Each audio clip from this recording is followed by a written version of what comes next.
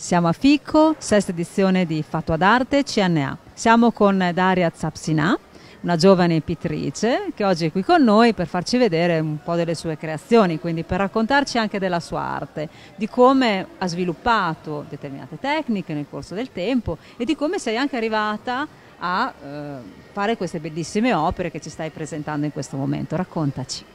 Ho iniziato il mio percorso in Bielorussia quando mm, fece le belle arti, l'accademia, negli anni 90.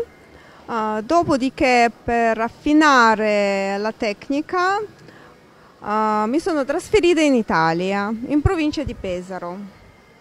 Eh, quindi mm, la mia tecnica preferita, uso diverse tecniche, ma la mia tecnica preferita è la pittura ad olio che, scusami, ti interrompo, è quella che hai portato qui questa sera. Esatto.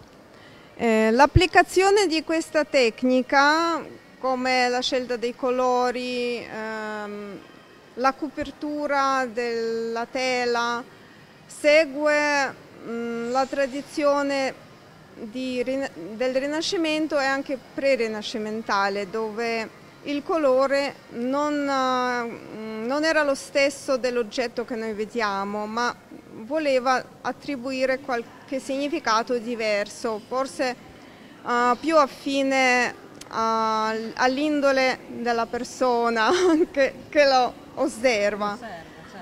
E poi anche la scelta dei soggetti, io sono incorreggibile, non riesco a essere un artista concettuale, e quindi i miei soggetti sono molto sognanti e forse si avvicinano alla, mm, allo studio della psiche di Carl Jung, seguire intuito, uh, captare um, delle immagini nel subconscio, metterle su, prima su bozza, anche cercare di fissare questi colori che non sono uh, soliti colori del quotidiano, cioè il muro normalmente non è blu, ma il blu è il colore um, dello stato d'animo che poi rende tutto, anche la materia stessa dell'olio che è solida, rende questa materia più fluida quindi anche il quadro risulta sicuramente più fluido nel suo insieme. L'altra cosa che mi dicevi che mi ha colpito molto è il um, discorso sul, a parte i soggetti che hanno questa particolarità di cui mi stavi raccontando,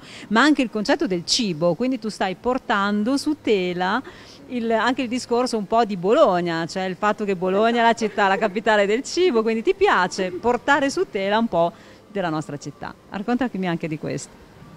Il cibo rappresenta i momenti conviviali, quindi accompagna spesso i momenti più belli nelle relazioni tra le persone. Eh, mi piacerebbe anche attraverso il quadro dimostrare alle persone quanto è importante sapere relazionarsi quanto è importante godere i momenti veri della vita. Quando... L'altra cosa che mi ha colpito molto è ehm, l'altra tua tecnica che utilizzi, che è quella dell'acquerello. Infatti qui abbiamo ehm, i colori che tu utilizzi e che poi utilizzi anche per fare i quadri. Raccontami anche di questa tua tecnica che abbini o comunque unisci anche alla tecnica dell'olio, praticamente la pittura ad olio. La tecnica di acquarello è più immediata, è una tecnica dove c'è molto meno materi materia, c'è più trasparenza, c'è, ehm, l'elemento acqua che è presente e quindi mh, mm, qui risalto molto la mia percezione del chiaro-scuro. Lavoro molto con, um, evidenziando le, le ombre con uh, la tridimensionalità illusoria e cerco anche di mantenere molta trasparenza, lasciare molta carta bianca. Questo um, vedo che è molto apprezzato anche questo approccio. E qui ho portato anche pochi esempi, diciamo qui c'è il Ponte di Sospiri che ancora non è eh, completo il quadro. Non è ancora completo. Però il bello di, questo, di questa tecnica che mi posso fermare in qualsiasi momento perché evidenziando poche ombre già si indovina il soggetto, già si crea una composizione tra queste macchie di colori che è molto moderno l'approccio perché è quasi astratto. Perfetto, l'altra cosa che mi dicevi eh, che mi ha colpito è il fatto che comunque mh, tu fai anche dei corsi o comunque coinvolgi persone per avvicinarsi alla, alla, pittura, all'arte. E mi dicevi anche che hai un buon pubblico di persone dall'estero che ti chiedono anche cose molto personalizzate e qui viene fuori l'artigianalità della tua, della tua arte. Raccontami anche di questo. Certo, um, io negli ultimi tempi lavoro molto con i clienti dell'Europa, degli Stati Uniti che comprano i miei quadri online, ho un negozio su portale Etsy.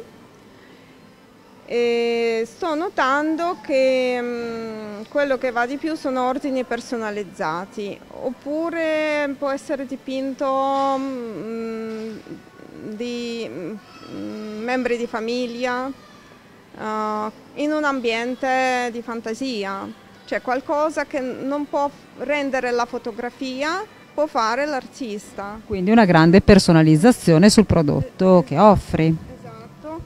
E ho i clienti che tornano, che dopo un ordine di prova poi iniziano a ordinare diverse cose, perché questo è, è un piacere vedere che questa è dinamica perché si nota che nonostante la tecnologia globale le persone ancora hanno bisogno di qualcosa di fatto a mano, di, mm, che permette di emozio emozionarle, appagare anche il mondo emotivo delle persone. Quindi diciamo un fatto ad arte al 100%.